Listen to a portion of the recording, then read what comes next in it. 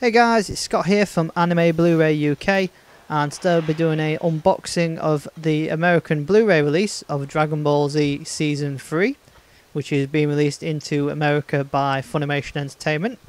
So yet again, another re-release and just like the previous Blu-ray seasons, it's still the cropped format which is sure to annoy some fans of Dragon Ball Z, but personally I don't mind it. So to start off with, we've got the front of the box, as always, the company card to sleeve.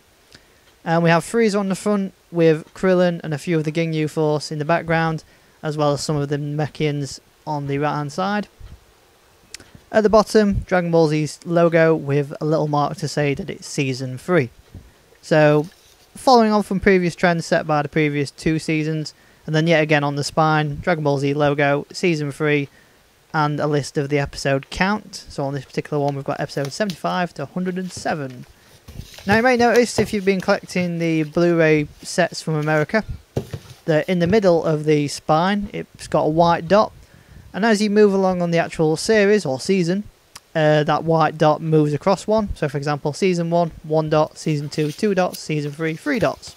Now, if you move them all together and form in a straight line, you'll get one giant picture. So, starting from the left hand side, we've got the Saiyan saga, whereby Goku versus uh, Raditz. In the middle, we've got Vegeta and the Ginyu Force, which marks the Namek saga. And then the final set, or season 3 of this selection, shows you the Frieza saga, whereby Frieza's deflecting Vegeta's bar. So, for every three seasons, um, Funimation are having a long piece of artwork across. So, for example, the season 4 to 6 will show the androids and Cell going at it. Moving on to the back, we've got the actual synopsis as well as a list of all the extra bonus features, most of which are exclusive to this uh, Blu ray set. And then, as you can see down at the very bottom, it's region A and B compatible, so the Blu rays will work in America, Australia, Europe, and of course the UK. So, if you think of importing and you live in any of those territories, then it'll work perfectly fine. And as with all Funimation releases, they come with a carded sleeve on the top. And as most Funimation Funimation releases go, it uses the same styled artwork and packaging design. So if you do end up losing the sleeve, you don't have to worry as it'll still match up.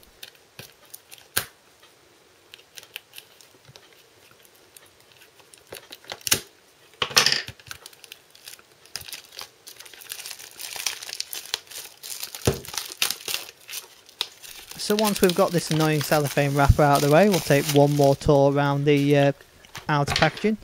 So we have the front and the back,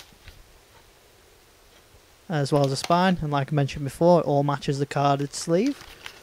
And on the inside, amusingly, there isn't any Funimation Fill Me Out art card. Probably because this set knew I was going to have it, which I can't fill out the Funimation art cards as I don't live in America. Uh, and as with the previous Dragon Ball Z season sets, you've got a list of all the episodes. And amusingly, Disc 4 only contains three episodes, but it does include all the bonus extra features, including interviews with the cast. So you can understand why it isn't as full. In terms of the discs themselves, they're exactly the same style and design as well as layout as the previous two seasons. So nothing new really hit here, there, anywhere. But they all do match and look quite nice and blend in naturally with the set and then finally at the back is the Dragon Ball Z logo to say Season 3. So it's pretty basic. I mean, the outer packaging is obviously the better artwork design. On the inside, it's just basic. But hey ho, it's Dragon Ball Z, and we know what to expect. And that's what you can expect from Season 3 Blu ray.